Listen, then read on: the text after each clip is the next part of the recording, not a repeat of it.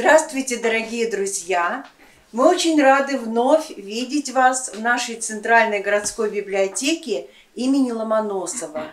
И сегодня у нас в гостях опять очень интересный человек, известный писатель Олег Алексеевич Борисов. Встреча проходит в рамках проекта «Люди и книги Поморья» и посвящается Дню славянской письменности и культуры, который отмечается завтра. У нас в гостях признанный мастер слова, поэт, прозаик, публицист, журналист, автор десятков книг, стихов и прозы. Олег Алексеевич живет в Устьянском районе нашей Архангельской области.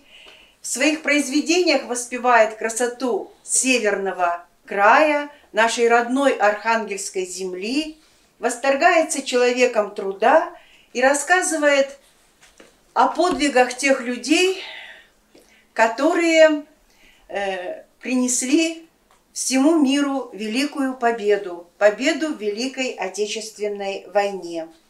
В 2021 году э, в издательстве Архангельского регионального союза писателей э, вышла книга в серии «Современные писатели Севера» э, Олега Борисова «Заград», «Заград. Отряд». Э, опять же, о тех людях, которые принесли нашей стране победу и отдавали жизни за мирное небо.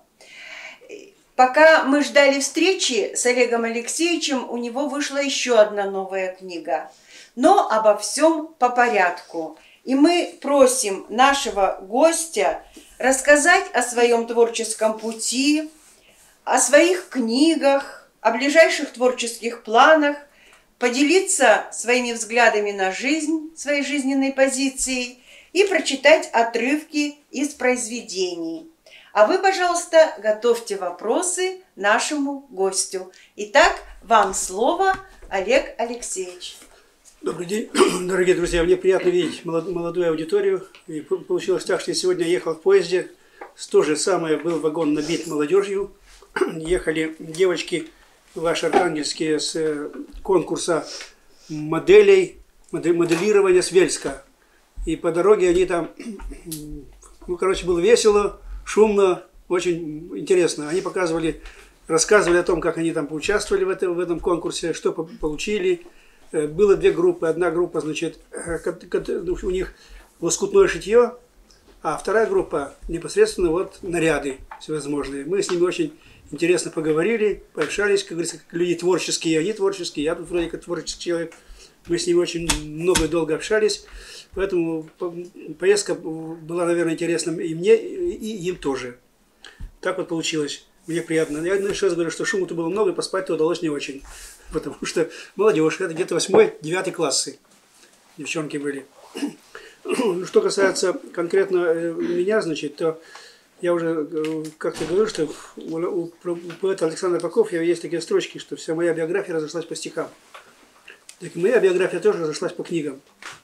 Ибо в каждую книгу автор, почти каждый автор, вкладывает часть своей из своей, из своей жизни, эпизоды какие-то отдельные, события, знакомства и так далее. То есть э, передавая это через художественную форму. Таким вот образом и получается произведение. Потому что на, на, на пустом месте ничего не, не растет, как вы знаете, ничего не получается. Я противник того, чтобы сидеть и сюда годы смотреть и в потолок что-то придумывать. Все мои книги, они основаны на реалиях, на реалиях жизни. Разных лет, разных событий и так далее. Вот эта книга, которая, о которой уже говорили, «Заград отряд», здесь три военных повести – эти три военные повести тоже написаны не на пустом месте. Значит, нашему поколению отчасти повезло, что мы вступили в жизнь, когда ветераны, участники, участники Отечественной войны были еще живы, их было еще много. И у нас была возможность с ними встречаться, общаться, разговаривать, расспрашивать их о событиях тех сороковых грозовых. Вам, вам, к сожалению, а может даже к счастью, уже об этом это не получится, потому что они уже ушли. Но и вы будете знать о войне из книг, из тех публикаций, которые были раньше, из фильмов. А с живыми участниками встретиться не, повез, не, не, не повезет. Но что делать? Жизнь идет вперед, время идет. Тут уж ничего не поделаешь. Сегодня ветеранов практически не осталось. Тех настоящих, которые были в окопе, которые лицом к лицу с фашистами были, их уже нет. Если еще остались где-то один, два, там, три человека, то это уже призванные, скажем, в 45-м, которые до фронта уже не доехали по-настоящему. Или по, по, повоевали где-нибудь с японцами на, на Дальнем Востоке. Или в Корее. В Корее. Вот поэтому все кни, мои книги написаны они на реальных значит, событиях. Я много встречался с ветеранами, очень подобно их расспрашивал. Иногда даже доходило до того, что говорит, ну слушай, да, ну что ты подробно все спрашиваешь? Ну зачем? Вот я тебе что сказал вот так вот. Я говорю, мне вот детали интересуют, вот такие, такие, такие. Вплоть до того, что, извините меня, э, до, до туалетных дел. Вы представляете, линия фронта. Значит, наши окопы, через 500 метров немецкие окопы. И они там месяцами в обороне стоят. И всякие взрослые люди. Надо все это, все это как-то делать. Я спрашиваю, как вот все это у вас происходило? Что это, как, э, как там все это было? И все это честно записывал. И, конечно, это нашло отражение в своих книгах. Ветераны ведь не, не, не любили рассказывать о своем участии в войне. И наград, наград, свои, наград своих почти что не носили. Особенно в 50-е, 60-е годы. Это потом уже э, как-то к этому возник, возник большой интерес. И на, на, на, на государственном уровне то они стали выходить на 9 мая значит, уже с наградами. А до этого я, я впоследствии много узнавал своих земляков, у которых, оказывается, ордена были такие-то такие, а при жизни я даже не знал, что они были награждены этим. Не мог знать. Ни разу их не видел с этими наградами. Они ушли в мир иной, а награды остались в коробочках дома у родных и близких. Вот. И, те, естественно, все события, в которых они участвовали, мы тоже не можем знать. Лишь, лишь части, разве что только частично. И вот здесь э, первая книга, повесть – это «Заградотряд». Когда в 1987 году рассекретили приказ 270, шаг назад, так называемый, наркома обороны, о том, что значит, уже нужно встать в оборону и отступать дальше нельзя. Все, ребята, стоп. Дальше некуда. И были созданы штрафные роты, штрафные батальоны и заградительные отряды. И вот однажды мне сказали, что у нас в районе, значит, вот, вот в одной из деревень живет человек, который служил в этом заградотряде. Я, конечно, сразу же рванул к нему. Приехал, ну, меня уже, я в газете много лет работал, меня там каждый деревне знают. Вот. Ну, пришел, здравствуйте, здравствуйте, вот это, ну, ну да, вот туда-сюда, значит. Сидим, разговариваем. Я чувствую, что человек не откровенно, ну, не говорит, а общими фразами отделывается и прочее, прочее. А у меня э, в журналистике такая тактика. Ну хорошо, давай, вот все, что вы, вы мне рассказали, я записал, это пойдет в газету. А сейчас я убираю блокнот, выключаю диктофон, убираю все это, значит, хозяйка принесла тут пузырек, чайник согрел, самовар согрела, выпили по стопочке. А теперь вот, говорю, расскажи старостину ему фамилия, говорю, расскажи мне, как на самом деле было. Все-таки, как все-таки это делал? Я не записываю ничего. Это вот между нами разговор, мне просто интересно. И он уже тут по-другому по все стал рассказывать, много чего э, таил. Я все это, естественно, запоминал. И когда мы закончили разговор, э, часа на три продолжался наш разговор, я, значит, в машину сел, и водитель нашего редакционного говорит, Коля, подожди, я сейчас запишу все, что он мне рассказал. Я уже в машине все это записал. И вот часть из этого материала, этого материала пошла в эту книгу, в эту повесть «Заградотряд». Но он не был командиром заградотряда, он был просто бойцом. Но он мне очень много рассказывал о своем командире, который командовал их отрядом. И вот в результате в этой повести глав, э, главный герой как раз командир этого заградительного отряда. Все вот, все, что там происходило у них, все, что, как они воевали, Э, с чего начиналось это все, об этом как раз и повесть. Ведь у нас э, в заградотрядах практически нет литературы. Совершенно нет. Я перечитал все книги наших военачальников, маршалов особенно, всех до единого. И ни у кого нет подробностей. И так, одна-две строчки, что вот прибыл заградотряд, был сформирован и так далее. Все. О чем делали? Чем занимались? Как все это происходило внутри самого этого подразделения? Никто ничего. И вот на, на основе рассказа этого человека, ну и плюс архивных данных, э, архивы хранят много, особенно Подольский военный архив. Там много чего интересного есть. И, значит, туда тоже попасть очень сложно. Надо было, надо было приложить на это, на это усилия. А мне э, в этом плане повезло, потому что в моей, почему у меня особый интерес к военной теме, потому что у меня в родне два генерала. Значит, один из них э, генерал-полковник Борисов Григорий Григорьевич, мой дядя, участник Великой Отечественной войны, а второй генерал-лейтенант артиллерии, он сейчас служит в штабе. Я, конечно, попросил их помочь в этом плане. Им-то легче э, добыть вот эти, эти же документы, легче пробиться туда, в эти архивы, особенно секретные, секретные, которые... Вот они кое-что мне дали, помогли. В результате я получил, вышла эта книга. Получился этот, этот хороший... Я люблю очень этого героя, вот, значит, э, капитана Дуброва, потому что он начинал войну с рядовым, а уже в 43-м был командиром батальона, командиром, командиром дивизионной разведки после, после заградотряда и закончил войну значит, в здании майора. Значит, вот так, так рождаются эти книги. Вторая повесть «Бережанские ротоборцы». Она вообще родилась случайно, чисто, спонтанно как-то. Потому что э, значит, я разыскивал э, двух погибших мне нужно было узнать, где они погибли, где похоронены, наших земляков. Э, книгу памяти стал, стал перелистывать, и вдруг обратил внимание, что чуть не на каждой странице встречается кто, кто-то, из, кто-то из погибших наших земляков в одном и том же месте, в одно и то же время. Меня это заинтересовало. Я нарезал закладок и стал вставлять. Ага, вот здесь, здесь. Потом посмотрел на книгу. Она вся в закладках. И вот тут я, значит, я, я задумался, как же так-то? А что такое происходило, что Э, почти 30 наших земляков погибли в одно и то же время, в, одно, в течение двух-трех дней, и в одном и том же месте. Понимаете?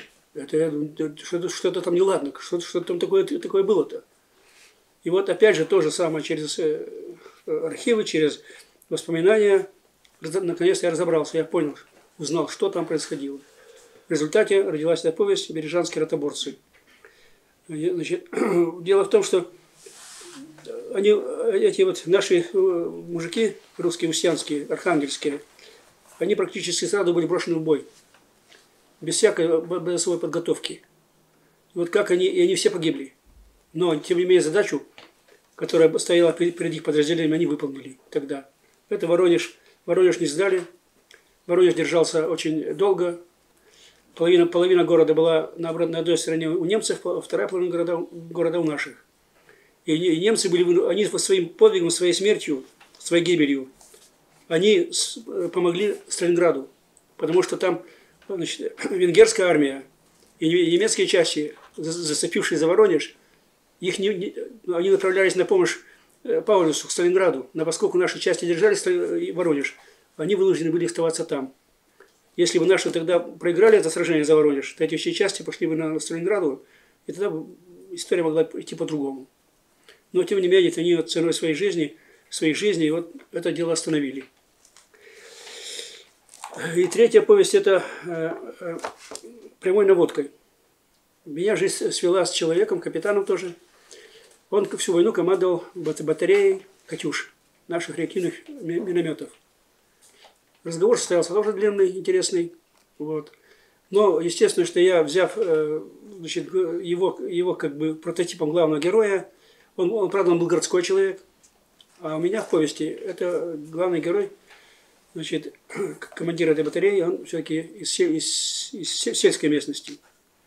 Тем не менее, основные события, то, что он мне рассказал, вошли в эту повесть, а остальное все уже авторский вымысел, и плюс э, то, что происходило именно на, этих участках фронта, фронта, где вот эта батарея воевала.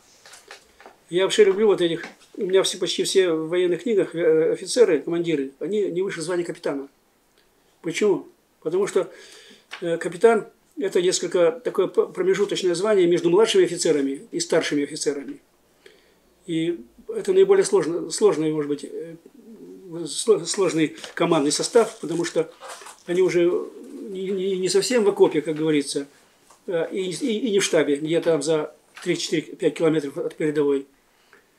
И, вот мой дядя, генерал Борисов, он тоже 18 его, когда ему было 18, еще не исполнилось 18 лет, его призвали на службу. Он закончил курсы младших лейтенантов в Каргополе, Каргопольском военном училище. И отбыл на фронт. И всю войну провел на передовой. И закончил войну капитаном, командиром батальона тоже. Когда он стал генерал-лейтенантом, его назначали э, командующим центральной группой войск. Э, значит, он после того, как его утвердил товарищ Брежнев, а там такой, там порядок такой был, он был, должен был представиться министру обороны маршалу э, Устинову Дмитрию Федоровичу.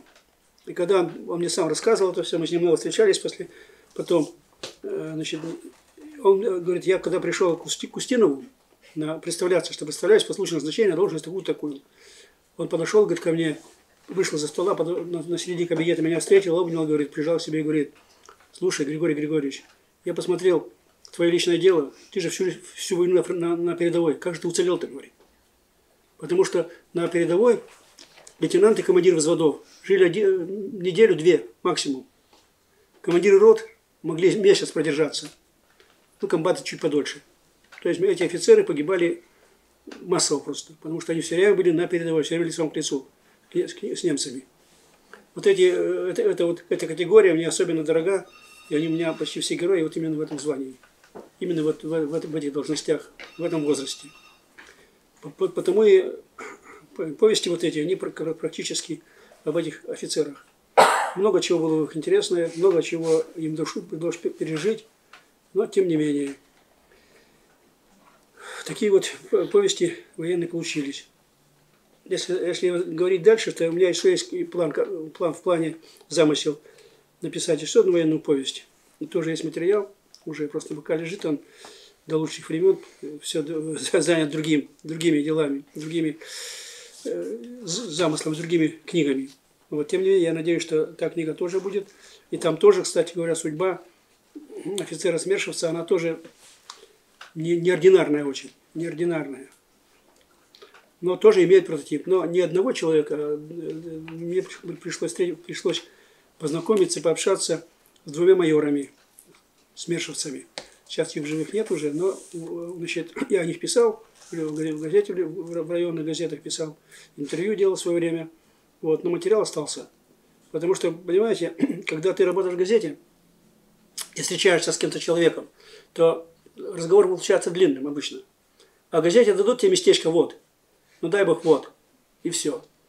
И вот в это надо поместить, то, что ты э, рассказал, все. Но как? И поэтому очень много остается в блокнотах, на, на, на, на пленках диктофонных. Но это же материал-то ценнейший. Он не может, не должен быть пропасть, не должен умереть. Вот я поднимаю у себя старые записи, и, значит, это все идет, становится как бы литератур, литературным произведениями. Вот таким образом мы, мы работаем. У меня нет одной темы, которой бы я писал. Ну, в общем, писать, как говорят, писатели-деревенщики, писатели военные, городской роман и так далее. Я работаю над теми книгами, которые мне самому интересны, которые чувствую, что у меня они получаются. Поэтому, поэтому вот здесь военная тема, а, но, но, но она, еще, она не закончена, я сейчас говорю. Вот книга «Вечная весна», это значит, главный герой, тоже профессиональный военный. Он начал, начал войну, войну сержантом на западной э, границе, а закончил тоже капитаном, командиром батальона в Берлине, где получил тяжелое ранение уже практически в день, в день победы, почти в день победы. Вот, но выжил, встретил, встретил там свою любовь, немецкую девушку, но, к сожалению, время было такое, что это, это было нельзя. И так вот его личная жизнь в результате не сложилась. Он всю жизнь любил ее. И она его любила всю жизнь. И всю, всю жизнь они ждали этой встречи. И только когда стало это возможным, и он оказался уже в звании генерала, он послужил всю, всю, значит, всю жизнь в армии, и когда он уже в звании генерала оказался в западной группе войск в Германии во время перестройки уже, вот, то он пошел, он сразу же решил отыскать этот, этот дом, где его, где его лечили после ранения, и вот эту свою девушку они. И когда он туда при, все-таки при, приехал, он нашел этот дом, вышла к нему из дома девушка, и он в, в, в ней увидел черты той самой, которую любил. Но оказалось, что это его дочь.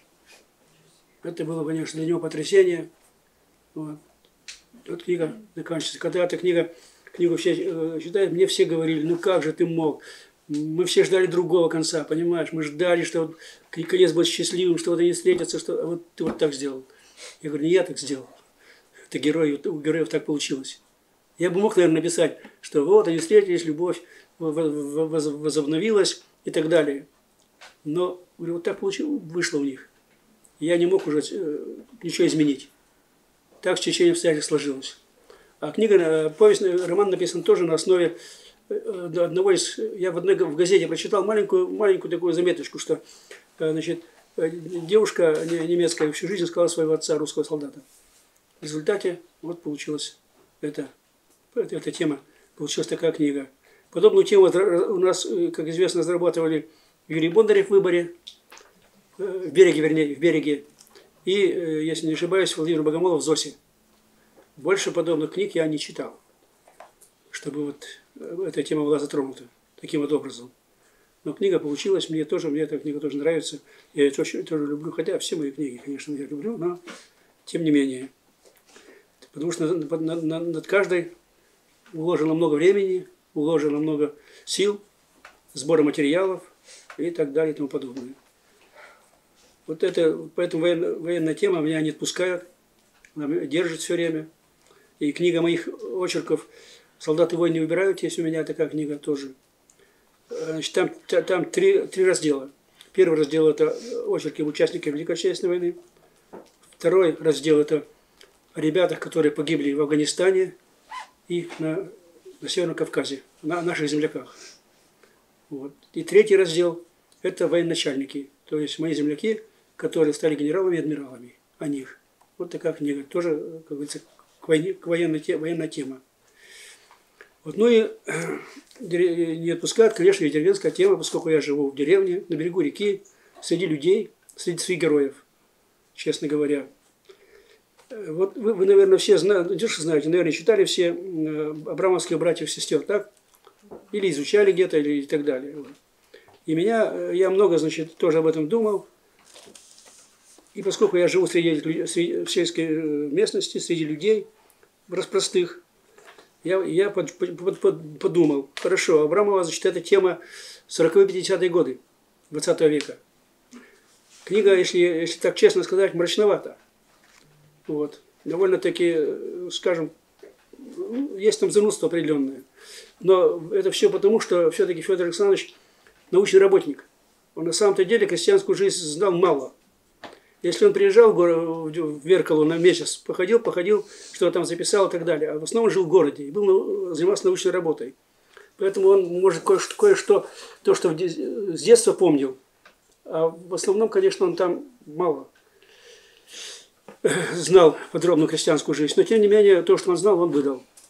И мы все сегодня читаем. читаем. Я, я себе задал вопрос. А, что, а как же жила э, северная деревня, как жили люди в конце 20 века? 80-90-е годы, перестройка и лихие 90-е. Это уже другое время, и другие люди, и другие обстоятельства, все другое. И вот я сел и написал роман. Он называется «Время окаянное». «Время окаянное» – этот роман состоит из двух книг. Хотя задумана трилогия. Будет, я думаю, что еще третья книга. Там тоже русская северная деревня, 80-е, 90-е годы что, в отличие, если у Федора Абрамова, значит, э, Михаил Пряслин, то у меня Алексей Плашнов, тоже герой, молодой механизатор сельский, бывший пограничник, который служил на границе, потом вернулся в свое родное село и со, со своими товарищами работает в колхозе, в совхозе. А потом началась перестройка, начало все рушиться, все меняться. И вот судьбы людские уже стали тоже э, многих рушиться, многих меняться. Как это все происходило у них, в деревне, я наблюдал это все лично. И герои э, этой, книги, этого романа, практически все, почти все имеют прототипы. В том числе и, значит, не, не, не только рядовые механизаторы, там рядовые значит, работницы совхоза этого, жители этого села. Вот, среди них и государственные деятели крупные, под своими именами, скажем, Юрий Александрович Гуськов, Павел Николаевич Балакшин – Потому что это происходило, все, происходит все в романе на севере, на русском севере, в Архангельской губернии. Вот, значит, меня жизнь сводила э, с многими государственными деятелями. В том числе я брал интервью в свое время у Александра Владимировича Рудского.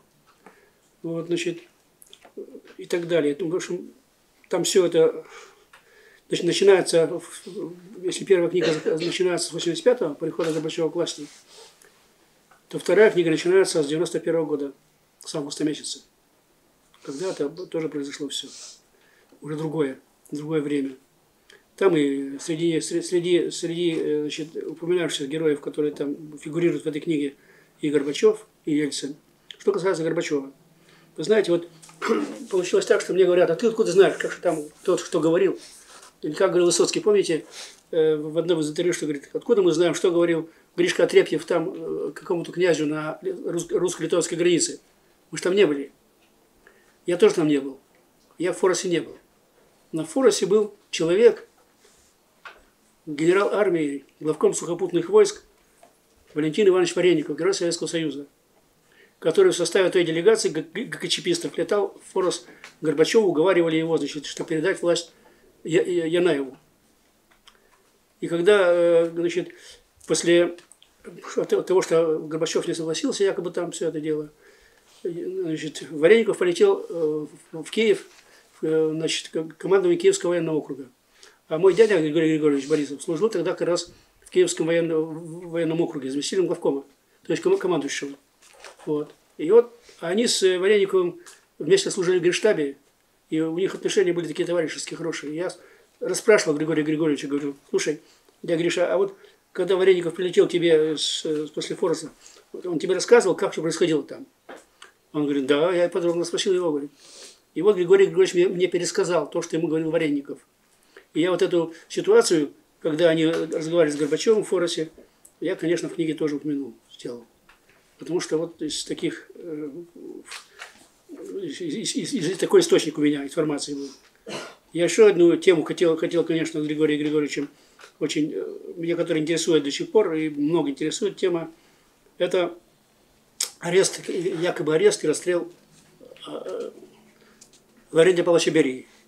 Дело в том, что в этом принимал участие маршал Советского Москаленко Кирилл Семенович. Он тогда был генералом, генерал-лейтенантом. Вот. А когда Григорий Григорьевич командовал центральной группой войск, Москаленко, как инспектор вооруженных, инспектор Министерства обороны, прилетал к нему не однажды. И они, естественно, разговоры у них были разные. Не, не только там, на учение, учение это учение, значит, а где-то после учения вечером, где-то там в гостинице, там, ну, на ужине или еще что-то такое. Значит, конечно, там темы разные затрагивались. И вот я спросил, говорю, я Гриша, а ты спрашивал у него насчет, как это все происходило? Он говорит, спрашивал. Я говорю, ничего. Он говорит, ушел от разговора. Не, не, не сказал ничего. Поэтому возникают вопросы и много, у многих, как на самом деле было, тоже никто не знает. Москаленко промолчал. Я говорит, даже дважды пытался к нему подойти, меня говорит, тема тоже интересует. Но, говорит, Москаленко промолчал. Ничего не ответил на эту тему. Поэтому вот многие вещи, которые, э, которые в моих книгах есть, они как раз основаны на реальных событиях, на реальных случаях жизни. Мне кажется, вот это наиболее интересно читателям, наиболее достовер, достоверно. А то, что придумывать там где-то что-то, э, конечно же, сложно. Вот, и такие вот э, эпизоды, они как раз, мне кажется, книгу, для книги служат хорошим подспорьем. Когда читатель не, не, не простите за грубость, за грубое слово, не утыкается в одно направление идет, а у него есть какие-то ответвления. Э, значит, как я, в отличие от многих авторов, многих коллег своих, значит, худо... не очень-то люблю художественность. Я больше э, значит, склонен к на грани очерковости и художественности. Мне больше по душе в этом случае, Валентин Пикуль. Валентин Пикуль не отвлекался э, на своих книгах на, на второстепенности. Он, у него действие. Он вел читателя, вел, вел, вел, вел вперед, вперед, вперед, вперед, чтобы конкретному событию по, по конкретной цели. Это мне, мне кажется ближе и интереснее. Вот так, так вот я работаю. таким вот образом. На, на, таким, э, такой мой принцип. Книги пишутся, как меня, у меня сегодня была встреча в Министерстве культуры, долго, долго разговор был там. Э, значит, и мы, я тоже сказал, что вы знаете, как, как пишете там, давайте, я говорю, да слушайте, как я, как я пишу? Я не могу вам сейчас сказать, что вот это так, вот это так, это так, это так. Я сел, взял, значит, Все, больше ничего, ничего не вижу, не слышу. Я весь там, в материале. Я весь среди своих героев. Я среди них. Вместе с ними иду по, по конве произведения. Не отвлекаюсь ни на что. А как вы, мне сегодня задали вопрос, да, как вы с чего начинаете? Я говорю, кто как? Пикуль, Валентин Пикуль, например, говорил, что он не мог начинать новую книгу, пока не было первого предложения. Как приходило первое предложение, все, текст пошел. Астафьев говорил по-другому. Он говорит, у меня пока названия нет, я на книгу не сажусь. Как название появилось, все, поехали. А у меня тоже.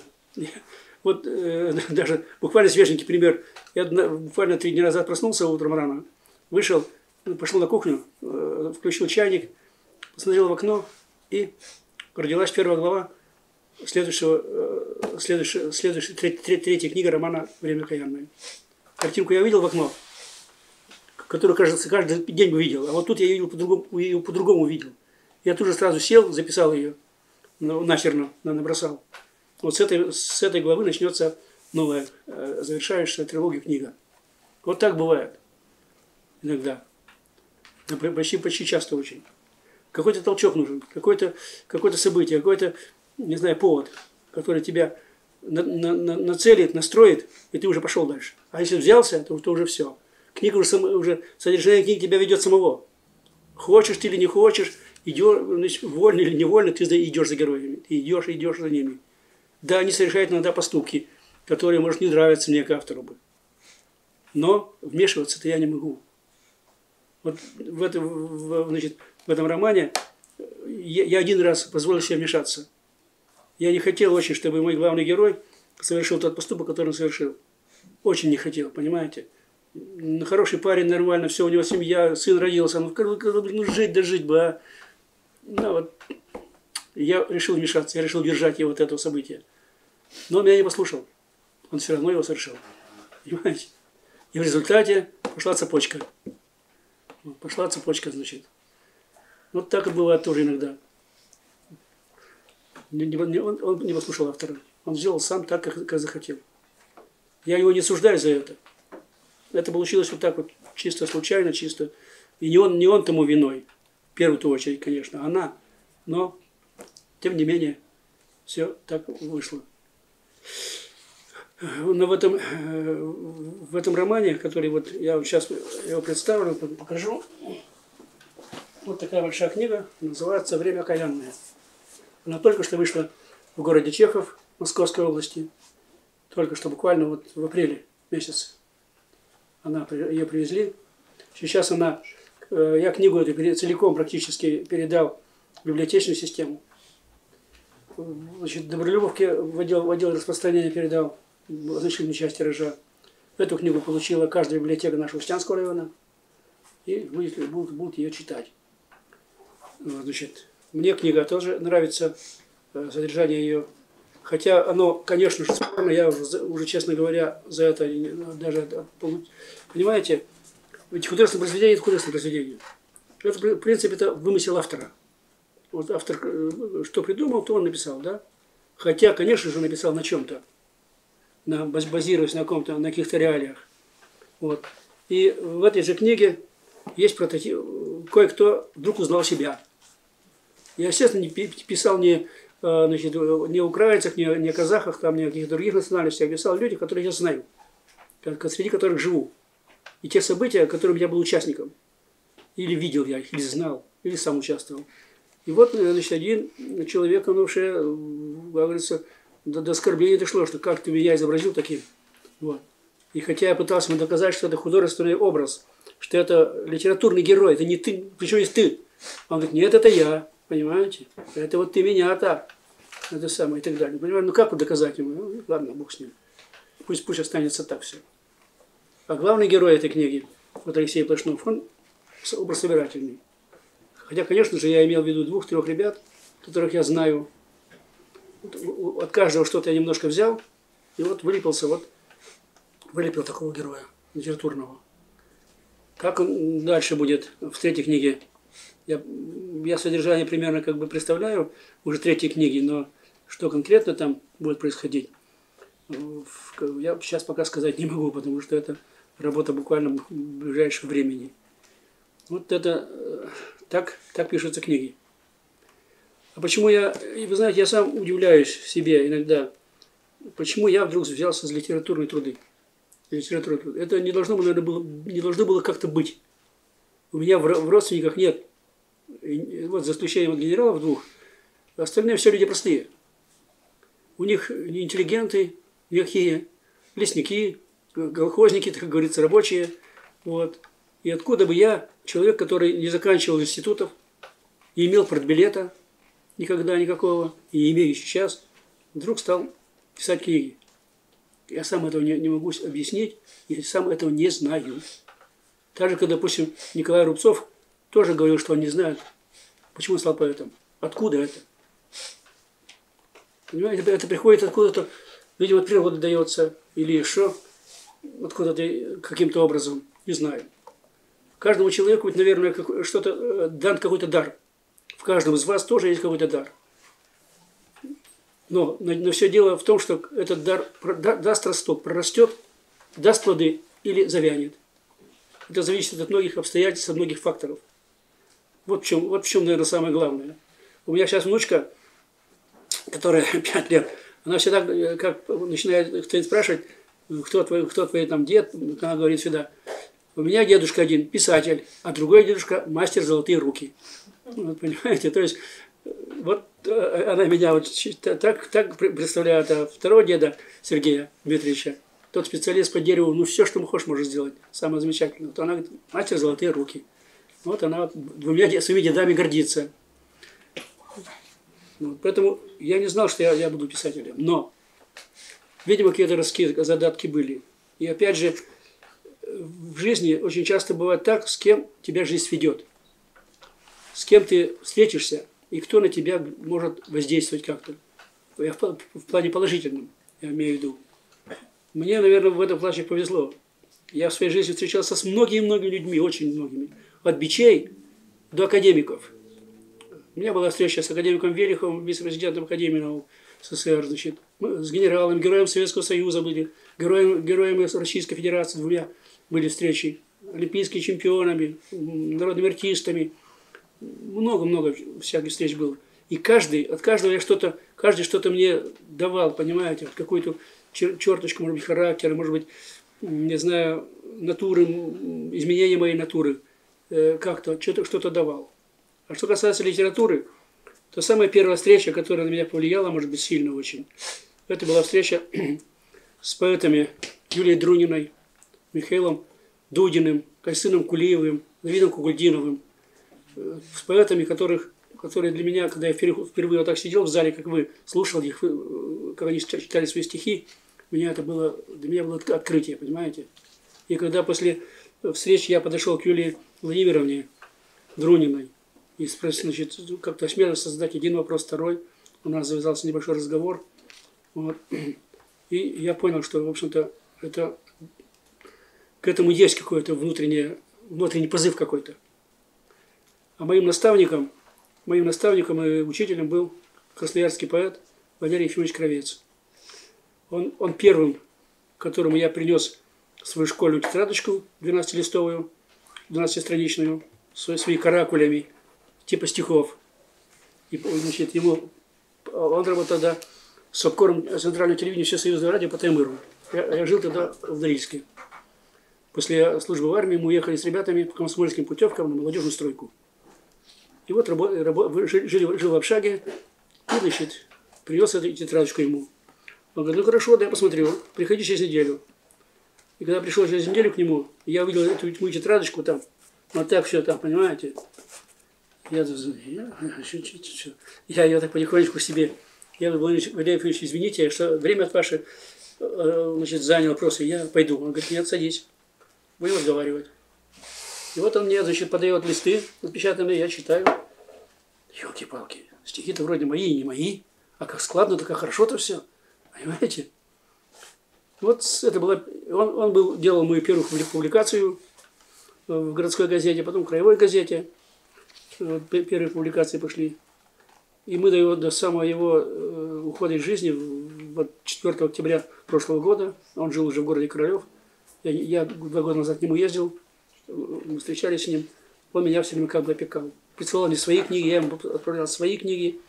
Я высказывал свое мнение о его творчестве, о его книгах, он о моем творчестве. Он посвятил мне несколько стихов. Вот. Это тоже сыграло свою роль. А потом, потом состоялась судьбоносная встреча с Ольгой Александровной Фокиной.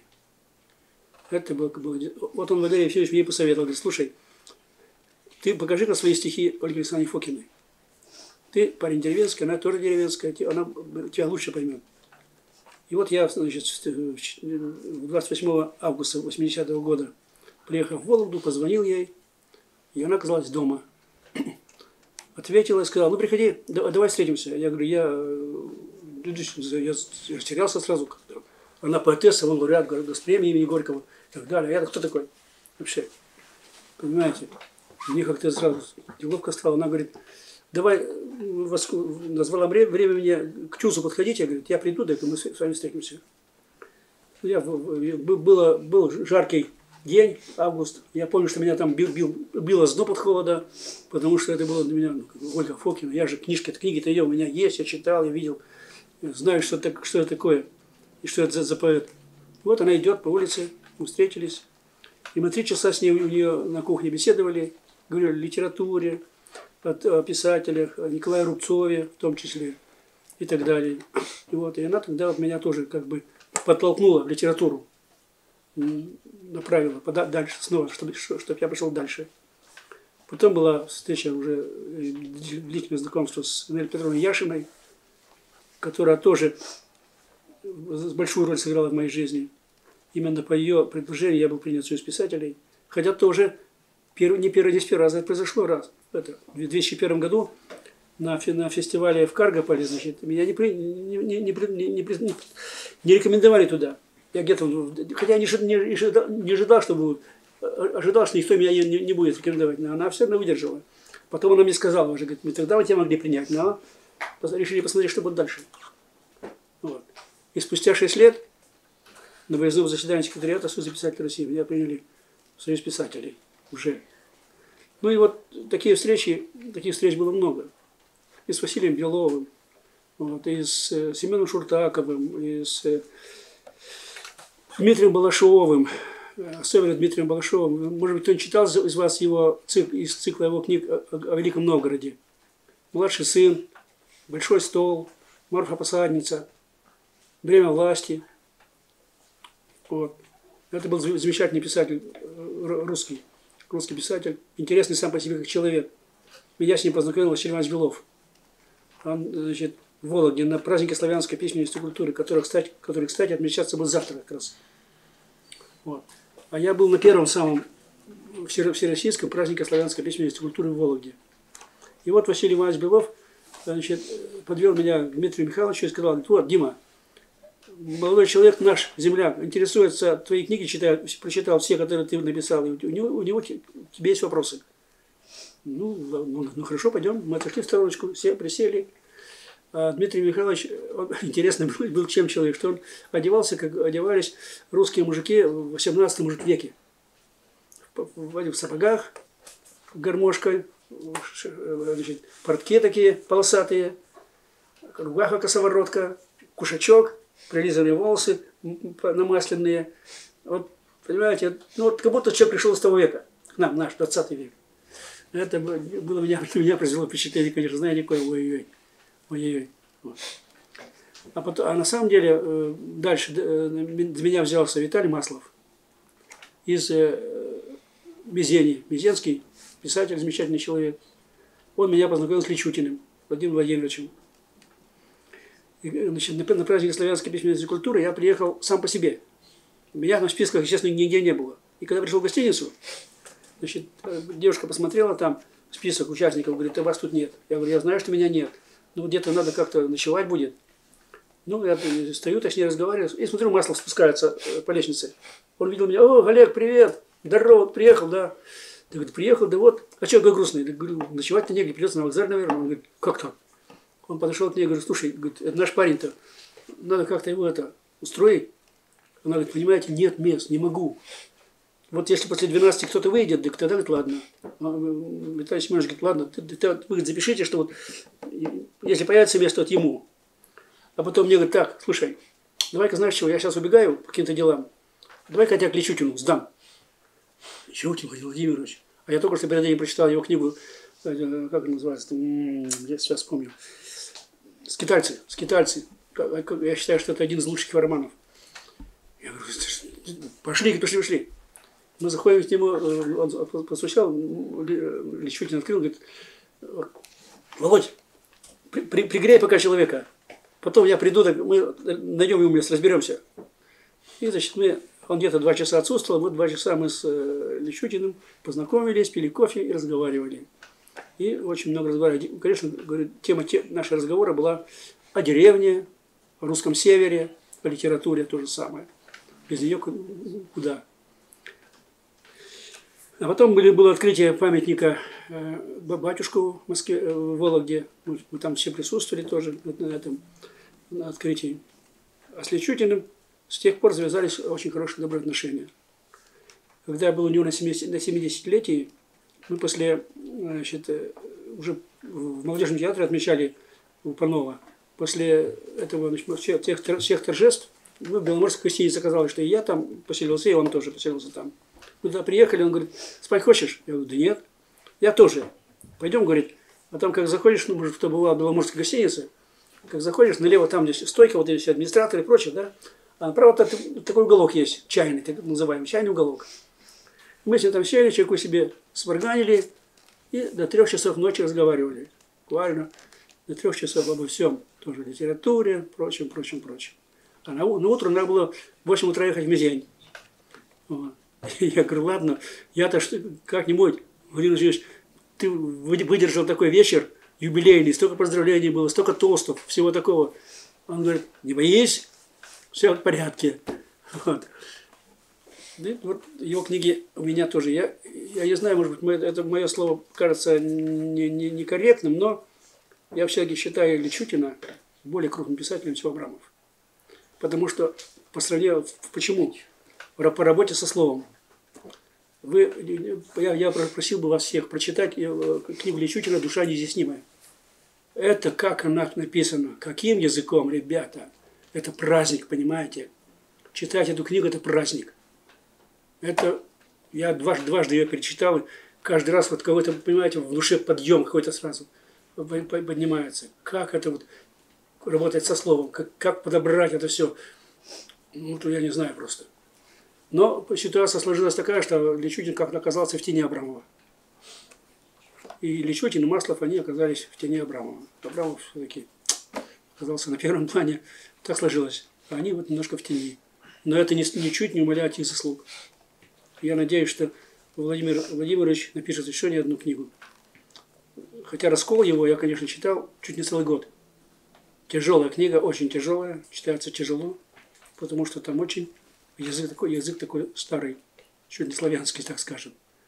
И тема такая тяжелая очень, печальная. Но тем не менее я эту книгу тоже одолел, прочитал. Вот так вот э, литературная жизнь у меня идет. Значит, с своими коллегами мы постоянно встречаемся, постоянно обмениваемся книгами, обмениваемся информацией. Кто-то кого-то критикует, кто-то кого-то хвалит. Ну, все по-разному все идет. Сам... Олег Алексеевич, вы очень интересно рассказываете, вас можно заслушаться. Точно так же, как и открыв вашу книгу, можно ею зачитаться. Э, узнать очень много нового, интересного для себя, э, тех уголков истории, которые мы плохо знаем, о которых нам сегодня мало рассказывают. И язык у вас великолепный, и книга затягивает. Я думаю, что у наших ребят, э, наверное, возникли к вам вопросы, хотя вы очень-очень много и откровенно нам рассказали. Ребята, есть ли Пожалуйста, вопросы к нашему гостю? Олег Алексеевич, вот вы сказали, вы знаете, там в тени, Боже упаси, вот я вас прошу, это здесь вот так некоторые мусолят тему Абрамова, что там в тени. Вот везде Пушкин, Есенин, Рубцов – Распутин, Астафьев, Личутин. По всей России. я часто много езжу, всех выступающих слушаю и так далее, да. Это у нас Федор Александрович вот, ну, усиленно тут делается и все, да. А в самом деле вот по России везде-везде, я только в прошлом году 16 городов объездил, выступал. В этом уже выкупил тур. Вот люди литературно, объединяемся мы, автобус выкупаем и едем. Вот 14 у меня будет городов. Тверь, Смоленск вот выступают, да.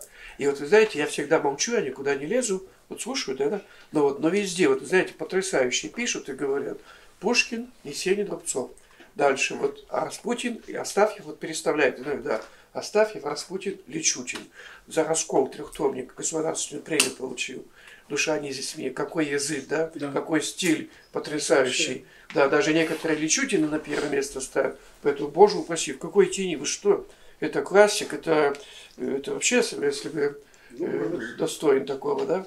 Вот, поэтому... Я-то, я-то сужу чисто В тени нашей- вот здесь, в тени этой работы, которую здесь библиотека проводит, Я сужу по, по нашей области, что у нас в области везде Абрамов, Абрамов, а Личутина почти не вспоминают. Да, вот ну, беда-то, ну, понимаете, Он в чем? скромно себя ведет. Почему Нет, так Не, вот? не, не, вы не- А почему вот так? Да нет, нет, это вот, знаете, это вот вы только одно слушаете, а в самом деле вот, вот народную жизнь. Ведь Рубцова тоже никто не вспоминает, по, по большому счету здесь, да? Так это нам и не надо. А вы посмотрите, у нас мероприятия переполненные залы, столько заявок, ну столько всего. Ну, то есть народ любит и Личутина читают, и знают Личутина, и по России везде нет. Поэтому Я знаю, что, я знаю, что по России это Да, его да, да, да, да. Я-то имел в виду у нас, у нас Да. в области.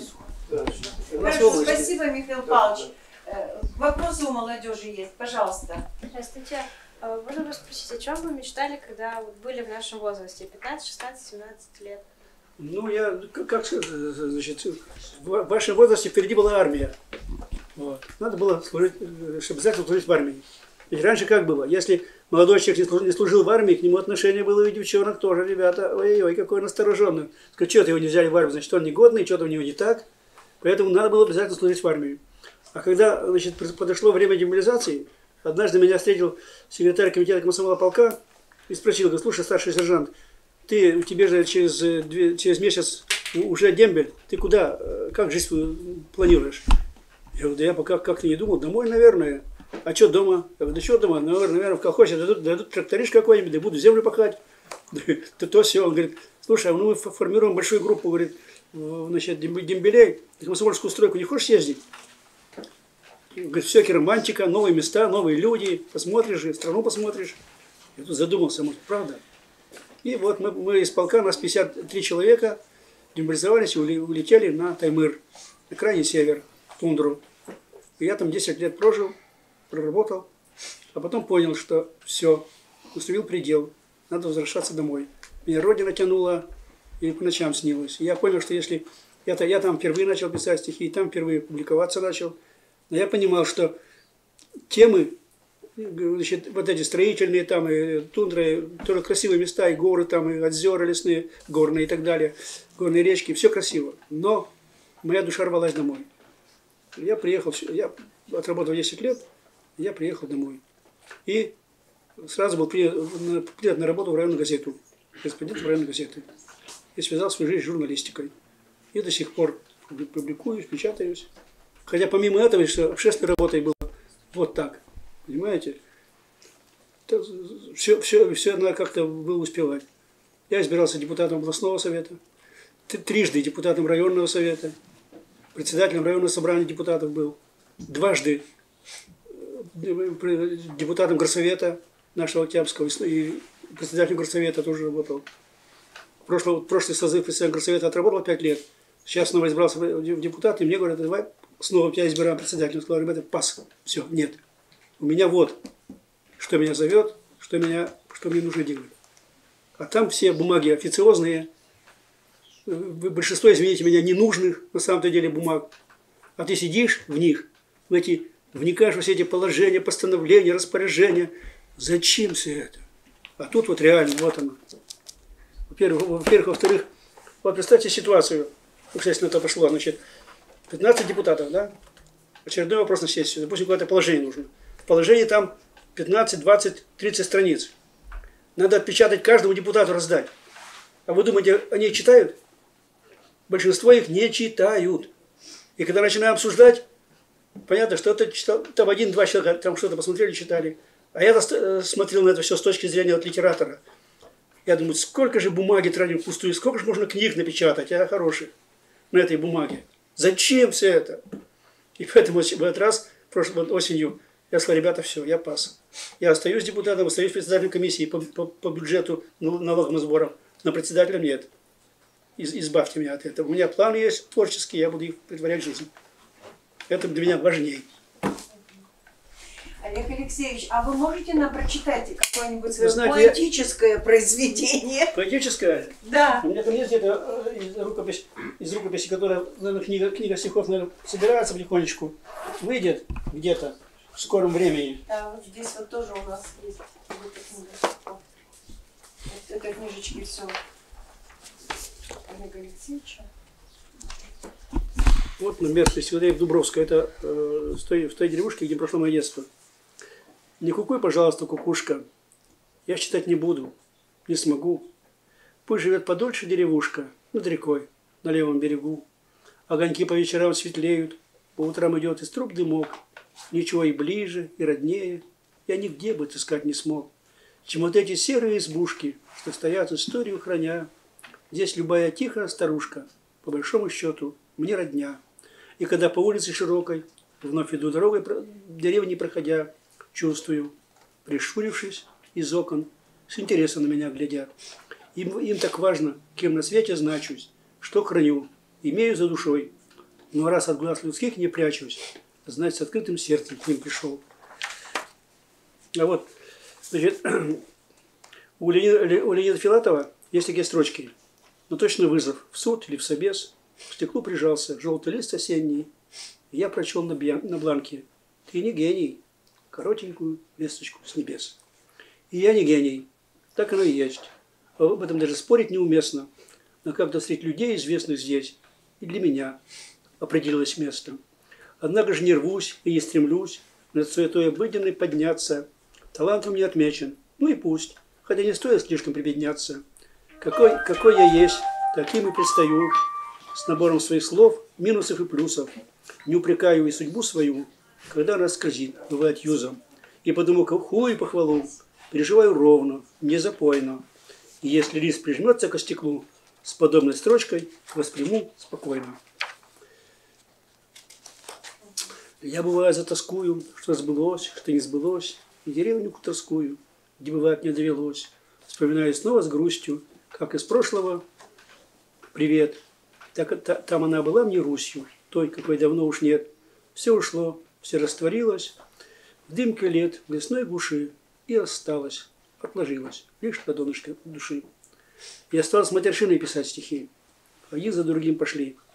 От того, что мало людей, от того, что много людей плохих, вокруг и вблизи, и вдали. И вот, значит, а. Вот этот самый, да, здесь у меня стихотворение, а вот, нет, где-то, где она? А, ну, я тоже не избежал в свое время, в прошлом году, это ковидных дел. И меня это э, напасть зацепило. И, значит, месяц я проявлялся в медсанбате. А э, И, пока, и когда меня вывели из того состояния, которое было совсем печальным, конечно же, я, что в медсанбате делать надо? Время есть, приходишь, куда получился такой мед- медсанбатовский цикл.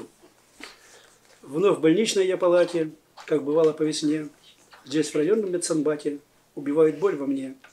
Перед этой напастью беззащитен я, игол. Медсанбатовские власти колют пятый в день укол. В белом новеньком халате входит муза со шпицом. Даже если скажешь «хватит», улыбне не отступит ни почем. Улыбнется и уколет, скажет «надо подогреть». Ах, как я боюсь уколов. Но приходится терпеть. Понимаете? И там, вот, значит, и, э, чтобы зак- закончить военную тему, я представляю стихотворение светлой памяти Владимира Брагина, погибшего в Афганистане. Володя Брагин, э, наш, наш парень из э, лесного поселка Красный Бор, погиб из всех архангельских ребят Архангельской области. В Афганистане погиб самым первым. Мы, мы ставим памятник на кладбище лесном, равняем землю, подгоняем плиты. Под ними парень спит спокойным сном в чужой стране, в чужих горах убитый. Прости, Володя, я тебя не знал. Никогда с тобой мы не встречались. Но говорят, когда ты уезжал, над устьей птицы жалобно кричали. Ты обещал вернуться по весне сюда, в лесной поселок Красный Бор. О, если б не ударил в тишине в разведгруппе пулемет в упор. А над ущельем плыли журавли, и грохот боя вряд ли их тревожил. Была Россия от ребят вдали, куда из них вернуться каждый должен. Жизнь вместе, жизнь вместе с кровью в землю уходила, бой отдалялся, купол неба гас, а Родина вся так же вас любила и так же беспокоилась за вас. Ты первый в скорбном списке земляков, кого в тюльпане черном привезли. И я, Володя, вновь пишу о том, чтобы тебе здесь память берегли. Погибшего солдата поминая, мы все безмолвно приняли по сто. Но никого ни в чем не обвиняя. Стоял и думал я, за что, за что. Вот такие иногда строчки рождаются. Э, попутно, когда работаю над прозой, у меня попутно, как говорится, рождаются литератур... Э, стихотворные строки. Ну вот, весеннее такое.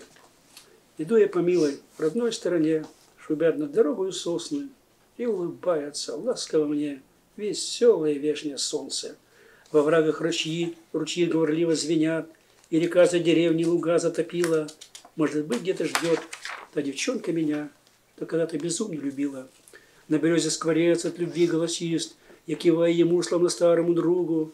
Поднимаюсь, поднимают ветра ввысь, восторженный свист, и разносят его далеко по округе.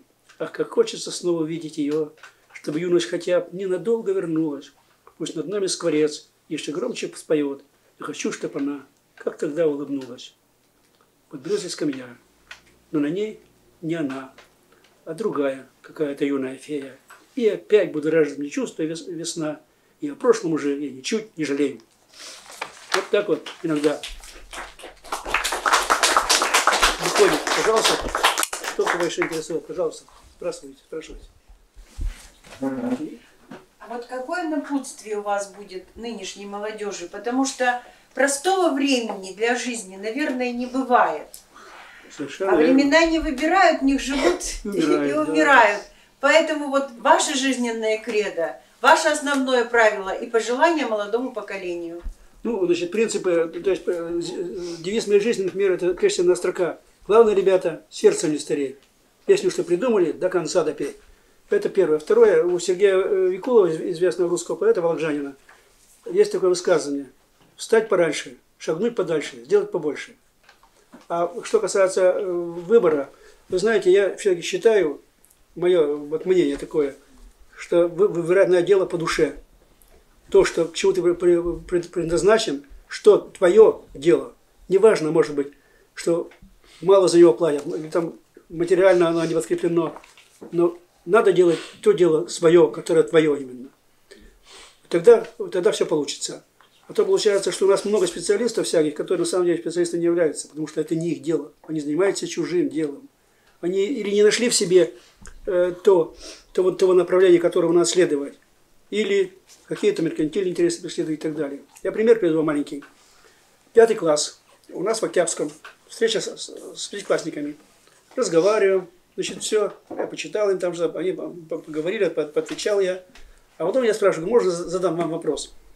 Вы в пятом классе сейчас учитесь. До 11 еще время есть. Вы уже как-то задумывались, что э, кем вы будете, вообще как в жизни вас сложится. Хотя вы, конечно, наверное, точно не определились. Ну, там один значит, на стройку пойдет, другой из военный будет, там туда-сюда. А одна девочка, говорит, я говорю, значит, э, Лера ее зовут. Я говорю, Лера, а вот ты, сидит на первой партии, ты уже определилась? Будешь кем-то? Она говорит, да. Я говорю, кем? Я буду учительницей. Я говорю, замечательно, очень хорошо. Прошло 6 лет. 11 класс, эти же самые ребята. Понимаете? Опять встреча у нас. Вот. И мы, значит, разговариваем, все это дело опять. И в конце я, значит, ее спрашиваю, ну что, Лера, я так понимаю, что ты-то уже сейчас вот экзамены сдашь и пойдешь в пе- в пединститут? Она говорит, нет. Я говорю, как нет? Я передумала. Я говорю, ну хорошо. А кем ты хочешь стать? Она говорит, я буду зубным врачом. Я говорю, в принципе, тоже хорошая профессия, тоже нужно. Ради бога. Я говорю, а если не секрет, то ты можешь сказать, почему ты вот изменила свое мнение? Она не, не, не, сказать, не скрывая, ничего сказала, а там больше платят. Но самое интересное, что она пошла- поступила в, в железнодорожный Понимаете? Там легче поступить. Вот как получилось. И сейчас где-то в Петербурге работают там именно по, по этой линии. Вот видите? Так что я еще раз говорю, что надо вы- выбирать, ребята, дело по душе. Неважно, может быть, оно материально не такое к- крепкое будет, но что хотелось идти на работу, хотелось делать это дело. Мне вот, я всю жизнь вот, э, советую и всем говорю, что, ребята, замечательно, когда человек утром встал, и он знает, что его, у него душа рвется, ду- душа зовет его на работу, на ту, которую он делает. Я же утром встал, да говорит, елки-палки, опять найти, да, там начальник такой-то, там, дело такое-то худое, там, и так далее. Это что за жизнь, а? Что за жизнь? Поэтому выбирайте дело по душе. Почувствуйте в себе это, что это ваше дело. Что вот именно вы должны, э, вы, вы, вы можете заниматься, вы, вы оно будет наиболее продуктивно, оно вам даст полное удовлетворение. Вот это самое главное, когда у тебя дело по душе. И тогда все остальное будет тоже легче переживаться, и будет оно приятней и красивее. Я вот сё- вот сегодня утром, уже утром с девочками, с этими э, модельерками тоже, значит, говорю, ну так хорошо, вы вот заняли первое место там в Вельске на конкурсе, а, значит, дальше-то вы как, что думаете? Модельерами будете, будете дальше моделировать эту одежду и так далее. Они говорят, и значит, из них три сказали «да». Я говорю, остальные молчат. Вот. Вы, говорю, пока не определились. Ну, замялись немножко так это. Ну, посмотрим, как там получится. Вот. А эти уже три определились, да, мы будем шить вот именно одежду, моделировать и шить одежду красивую, по своим именно, сами придумывая ее. Я тоже спрашивал, я говорю, вы берете готовые уже какие-то, значит, э, ну, как называете их там, моделей, или, сами кроите, сами придумываете? Нет, сами, только сами, мы, мы чужого не берем. Я был поражен этим. То есть из них наверняка кто-то будет модельером. Пусть одна будет даже, но и то будет настоящий э, человек, настоящий мастер, понимаете? Вот каждому я советую вам тоже, определяя, определяя свою дальнейшую жизнь, хотя, хотя, конечно же, жизнь состоит из случайностей, из многих. Человек, мне кажется, по моему, по моему вот мнению, может смоделировать свою жизнь ну, процентов на 80 максимум. Остальное все случайность. Или наоборот даже. На 20% смоде- смоделирует, а 80% случайность. Вот у меня все случайно происходило.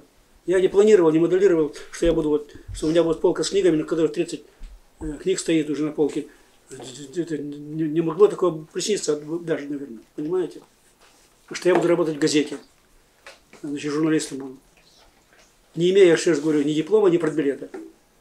Понимаете? Вот так вот. Все как-то. Но, но это, я понял, что это дело мое. Что мне это интересно. Я с великим удовольствием всегда до сих пор еду куда-то, иду, встречаюсь с людьми, разговариваю с ними. Я внутренне себя обогащаю э, от, от этого, от, от встреч, от встреч с людьми. И мне это приятно. Хотя это доставляет иногда не то чтобы огорчения, не можешь себе позволить иногда какую-то вещь. Другой бы мог бы позволить что-то сделать, а тут, ага, тор- тормозни. Тебя сразу за- засекут, когда а, всех, сам что-то там, а сам-то вон. Это заставляет человека мо- мобилизовывать определенные рамки ставит. Ты уже, так сказать, не можешь туда-сюда качнуться. Если какой-нибудь алкаш лежит под забором, ну хрен с ним, прошли мимо, да? Если ты будешь лежать, завтра, и, о, о, о, о, видели, видели, видели. Понимаете? Ну зачем это? Потому что это не позволишь себе. Это грубо, конечно, может быть, я сейчас пример грубый привел, но тем не менее. Да, Олег Алексеевич, спасибо. И последний вопросик вы хотели, да? Пожалуйста. А как вы, какое у вас мнение к произведениям писателей XIX века? Достоевский, Чучев, э, может быть, к Пушкину тоже отнесете, как относитесь? Ну, как ру- русская, русская литература, это самая, мне кажется, рус- лучшая литература в мире, на мой взгляд. Что касается, ну, Пушкине, что говорить, ну, там, вне, вне сомнений, там никаких уже сомнений ни у кого, наверное, нет, и быть не может. Вот. Ведь, ведь иногда даже сейчас некоторых э, авторов современных говорят «великий», а я бы по- по- постерегся этого. Великими могут быть только, скажем, и- значит, Толстой, Чехов, Пушкин, Лермонтов и так далее. Небольшая, небольшая группа. Остальные, дай бог, выдающиеся или видные писатели, большие писатели. Так можно их называть. Но великими, великими называть сегодня кого-либо нельзя. Хотя Бунин тоже великий, можно сказать, что. Но я вот очень люблю Бунина, например. Вот. Потому что это и, и- как прозаика, как поэта. Хотя про- как поэт, может быть, он чуть, чуть слабже, но как по- прозаик, это, конечно, его антоновские яблоки, это вообще все жизнь Арсентьева, это вещи, конечно, очень-очень интересные. Их надо читать обязательно, потому что они, он, Бунин очень хороший стилист. Таких стилистов, как Бунин, ну, я не знаю, сегодня я так не могу, наверное, никого, никого даже назвать. Вот, может быть, единственный Личутин тоже как стилист. А больше мне трудно сказать кого-либо. Это был расцвет русской литературы. Это же Серебряный век особенно потом. Ну и в, и в советское время, конечно, были, были поэты и так далее, и так далее. Хотя, если выбирать, допустим, между Бродским и э, Рубцовым, так я, конечно, Рубцов. Рубцов. Хотя Бродский ведь считается великим, но Бродский очень, можно сказать, можно сказать искусственный поэт. А Есей, а, ну, Рубцов это кондовый такой, корневой русский поэт. Меня, да, меня его самый рус... читаемый, Да, самый издаваемый. Да. Меня русский самый огонек, конечно, я каждый раз, перечитываю русский огонек, знаете, это, вот, вот тут щемится все. Я просто представляю, как это все и как было, и как написал это и так далее. Ведь при жизни это тоже гоняли туда-сюда. Кто, издавали, да, кто, кто, кто, кто считал? По-моему, по-моему, у нас тоже Пикуль, Пикуль сказал, что говорит, «Р- Россия это особенная страна, потому что в ней любят только мертвых. Вот. Вот поэтому Личутина пока и не признали. Вот. Нет, у нас, у нас Поэтому. если, если Так что вот так вот. Ну вот Николай, Вот так, массово, у масштабно. Николая Михайловича так жизнь сложилась, что ну, вот, ну как вот. И теперь ничего не изменишь уже. Сейчас сложилось. Я очень много, конечно, о нем э, был в Никольском в Никольске два раза был там. И зимой был, и летом на Рубцовских щенях был. Э, Сейчас ездил туда и в Емецке не один раз был и так далее. Ну и вот все время тоже думаю, ну как же так, ну почему, вот ну как же так, ребята, вы проглядели-то, почему допустили-то вот это. Хотя я спрашивал, кстати, Ольгу Александровну Фокину об этом. Говорю, Ольга Александровна, меня извините, э, я задам вам вопрос, который, может, вам и не надо задавать, и я не имею права его задавать. Но вот вы-то видели, как он жил, что с ним происходило. Почему не- нельзя было как что-то сделать, чтобы ну, удержать его, остановить, помочь ему? И она мне прямо сказала, говорит, ты знаешь, говорит, Олег, э, э, Николай говорит, был таким человеком, что о поэзии, литературе, о кни- о писателях он мог говорить часами, днями, говорит, мог говорить, и спорить, и рассказывать, и мнение свое вы- вы- высказывать. Но только стоило, стоило коснуться личной темы, все, он выпускал иголки, как ежик. Все. Вот Это было табу. Человек с характером, Понимаете, каждый характер человек такой. с характером. Поэтому говорит, мы ничего не могли сделать. Вмеш- Вмешаться в его жизнь не могли. Он не позволял, не пускал. Вот так вот получилось. То, что получилось. Спасибо, Олег Алексеевич, вам огромное. Я думаю, что мы будем закругляться. Э, Огромное вам спасибо за то наследие, которое уже сегодня есть. Действительно, больше 30 книг. Э, То есть вы еще и великий труженик. И это здорово. И мы желаем вам дальнейших успехов и ждем на новые встречи. Спасибо. Я всегда, всегда говорю, своим говорю, говорю коллегам, мужики, работать надо, работать. Не пиариться в контактах по каждому чиху. Где-то получили какую-то благодарность дворового какого-то конкурса, выставляют сразу ВКонтакте. Ну, ну зачем это? Вы рабо- работать надо, работать. И чтобы читатель оценил. Мы для кого пишем-то? Для читателя. Так ведь? Так. Не для себя. А читатель-то у нас умный.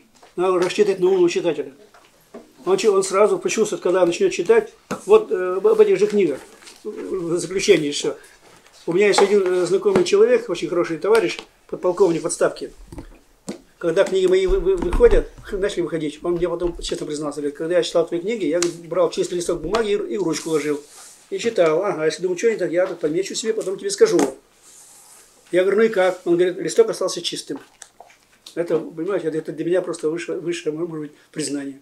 Что я не сфальшивил ничего нигде, не, не придумал ничего, не, не ошибся ни в чем.